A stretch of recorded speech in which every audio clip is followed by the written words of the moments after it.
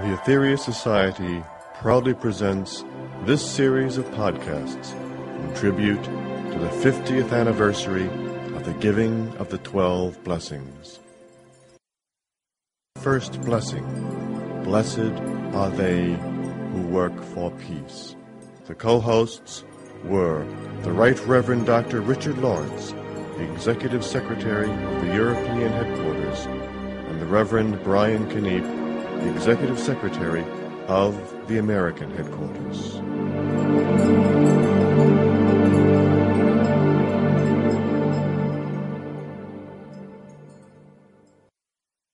Blessed are they who work for peace. In these times of unrest in your world, the workers for peace are indeed thrice blessed, for these ones, by their toil, sacrifice their own bliss. By their interest in the suffering of their brothers, they sacrifice their peace. Blessed are these ones at this time. In these times of unrest in your world, the workers for peace are indeed thrice blessed. Not even once blessed, but thrice blessed in this case. In other words, the three aspects of working for peace are thrice blessed. Three aspects in this case, of course, naturally are the creative, the preservative, and that which strikes a balance between the two. You know, there is a trinity in all things. There, is, there are the three sexes in all things. That which is neither sex or neither type of magnetism, that which is female magnetism or preservative magnetism, and that which is male magnetism or creative magnetism. That's why Jesus here says that the workers for peace are thrice blessed. Well, let's all prepare ourselves. Let's all again close our eyes. Just go within and bring into your mind as much of an aspect of peace as we can. Slow the breathing, which tends to slow the mental activity. Try to stop thinking about yesterday or tomorrow and think about the now. Think about peace. Then think for a moment about they who work for peace and realize how difficult a job they have in these days upon earth and really want to send them your help, to send them some power and some love and some energy to help them in their most essential and difficult task in these days. So let's all now raise our hands just feel a white light in the palms of the hands and the heart center and send this outwards. Blessed are they who work for peace. Almighty Father, of all creation, let your light flow through this world now. Let it shine into the hearts and minds of men now, so that all may look within and see the glory of thine everlasting being. O Spirit of spirits, let your love flow through the hearts and minds of man now, so that he may look within and see the great and wondrous glory of his divine heritage. The second blessing. Blessed are the wise ones. The co-hosts were the Reverend Paul Nugent and the Reverend Richard Casada.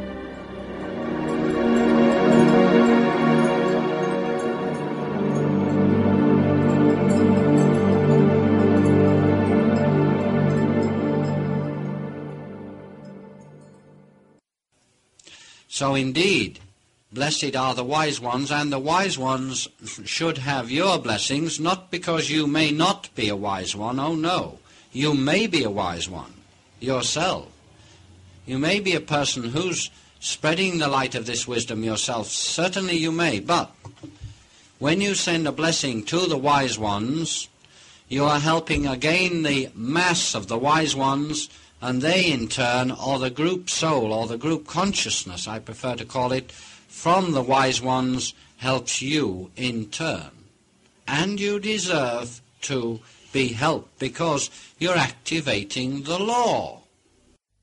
It's the duty of all of us to send our blessings to these ones who, are, who have given wisdom to the world. People like Buddha, Jesus, Sankhachara, Yogananda, Patanjali, Confucius, Lao and so on and so on. And there are many, many dozens of them.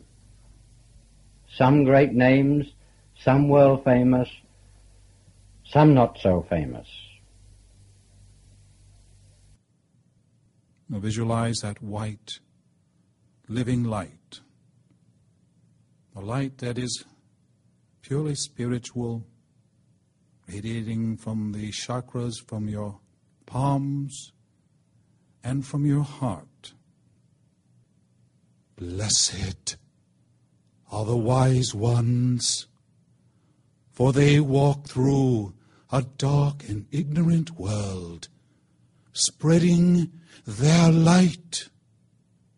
O oh, adorable children, children of God, walk bravely forward to your salvation. Look neither to one side nor the other, but straight ahead into the very face of God and contact this mighty light so that it may shine upon you, so that it might impregnate you forever. Be this now and by now. Adorable children, little children, I am here with you. I will lead you into this state if you but hold out your hand to me, adorable ones, go with God. The third blessing Blessed are they who love. The co hosts were the Reverend Gary Blaze and the Reverend Paul Nugent.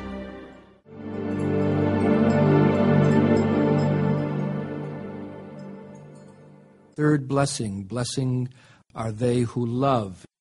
So let's begin as we've begun the two previous blessings by bringing ourselves to a point of stillness, by closing the eyes and placing the palms downwards upon the knees with the spine erect, the head tilted slightly backwards. And let's visualize coming down now from the ethers of space above a wonderful living white light. And see this entering the top of your head, charging the brain as we take it down through the neck and the shoulders and outwards into our heart center. This living white light of God expanding in the heart center. And now let us think down beneath our feet, way down to the very logos of the Mother Earth and there let us visualize a violet flame. And now, in all humility, let us request this violet flame to come upwards through our feet and the lower part of our body, and take it right the way up through and around the body, and up above the top of your head, as high as you can visualize, and see and feel yourself being cleansed by the soft violet flame of the Mother Earth. Now let's raise our hands as we tune in to the vibration of the Master Jesus as he delivers the heading to the third blessing. Blessed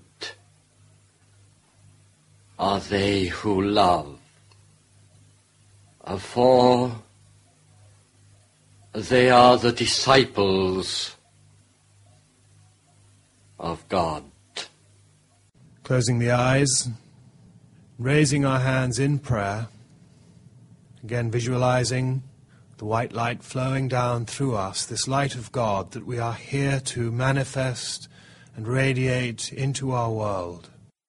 And let's all join now in the prayer given at the end of this blessing by the Master Jesus. O mighty God, who is the Creator of all things, we pray that your light may shine through us all, so that we may transmit this unto the world. As in the, the great spiritual freedom, we if we were to experience freedom, we would need to be able to learn to love all things equally. And we can't do that with possession. We can't do that with any of the other lower manifestations of love. So, that again is an example of the great importance that the Master talked about with love. In fact, that the Masters have said, and I think this is an incredible point, that our divine love should be so powerful, so radiant, so all encompassing within our heart that hatred and anger and anything else like that doesn't have a place to live. And we can always gauge, I guess, how effective and what kind of a place love has in our heart by, if we're honest with ourselves, gauging some of the other emotions that somehow find its way into our mind and, and expression. But that's the, uh, and a good example about how the importance that they think of love of course, our master, when he talked about love, to differentiate it between the emotion or basic love, he would spell it out L O V E. Swami Sivananda talked about cosmic love to differentiate between the, the basic emotional love that uh, humanity has become familiar with throughout the ages. Well, there you go, Gary, right here in the text. For such sacrifice as this can only come from the hearts of the cosmic lovers, and how they love not any man because they love all. Thank you very much. Thank you all. Thank you, Gary.